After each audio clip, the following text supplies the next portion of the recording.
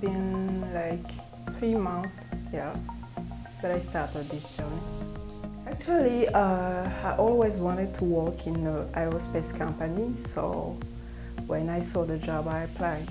Most of the time, uh, talking about a super alloy called Inconel or titanium. That's what we do. We do the inspection, try to find any defects. I'm proud of myself, like, yeah, because we're working with, uh, we have big clients like Boeing, Safran, so you know, it's a great experience working at LISI because um, first of all, it has a good working and safe environment and uh, co-workers are really friendly, they are really there to help and everyone can understand when you have a problem, so it has been a great Go for it.